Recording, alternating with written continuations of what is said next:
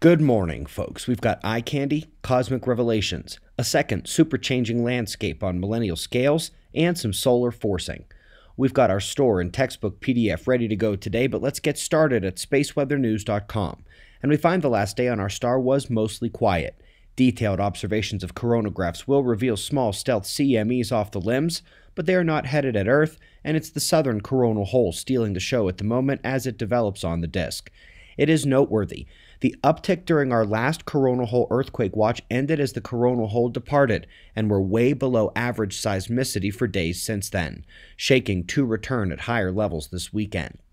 Moving on to the solar wind, top left, the yellow and purple curves both go up from their anemic density and speed profiles the last few days.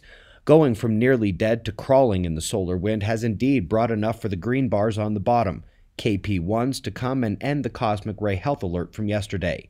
Recall that in reality, it actually persists for 24 hours after the first KP1, so that'll be tonight.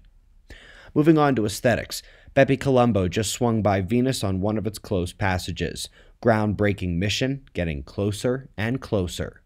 Up next, we've got the simulations based on what they think the James Webb Telescope will see within the cosmic web. Gorgeous simulation, but a simulation only. And for the James Webb to see reality, they'll actually need to launch it first. It's years behind and billions over budget. We go to those real observations next to find astronomers needing to once again rethink the heavens.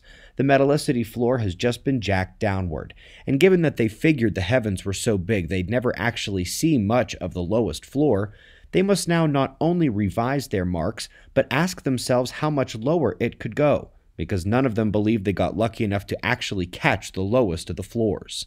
And speaking of back to the drawing board, star clusters are not as clustered as we thought, at least not when you take in the totality of their expanse. Just like with the vastly wider galactic halos of plasma they couldn't see before and which toss their models for a loop, so does this at the subgalactic level. When astronomers need to think bigger, they should be thinking connectivity. Moving back to Earth, and if you haven't heard about the cyclic greening of the Sahara, it's an amazing thing. This is pretty much in the same vein. Hong Kong, a tropical paradise, changing that much over millennial scales? Apparently, yes.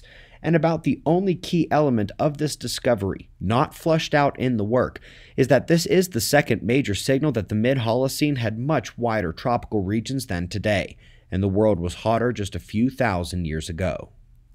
Up next, we find a long term control over those same timelines by major processes like NAO.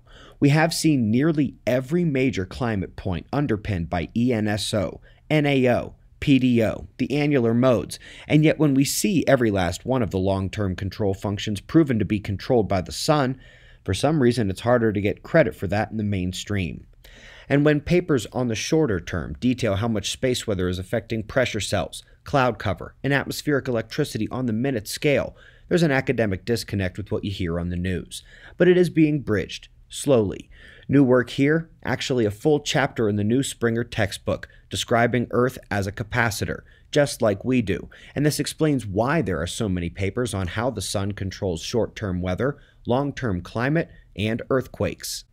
Where those sciences meet will be when space plasma meets atmospheric fluid dynamics and no, they are not exactly puzzle pieces cut to fit together. And yet, somehow they do anyway. Folks, the best 500 papers on why it's the sun that controls the weather, climate, earthquakes, technology, and human health, along with the next end of the world, is all in our textbook, Weatherman's Guide to the Sun, 3rd edition. The PDF is also available from now until October 21st, and students who I caught snagging it already this morning, I have given all of your professors a different final exam than the one in the back of the book. Sorry, guys.